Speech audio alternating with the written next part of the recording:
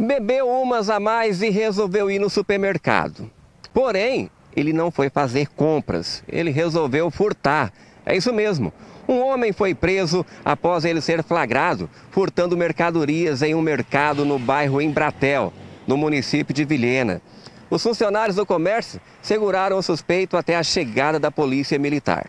De acordo com informações apuradas, possivelmente o homem estaria embriagado. Entrou no mercado e, alguns minutos após, um funcionário da empresa flagrou o homem furtando alguns objetos. Ao ser questionado, o homem tentou negar mas a ação foi toda filmada pelo sistema de monitoramento do mercado.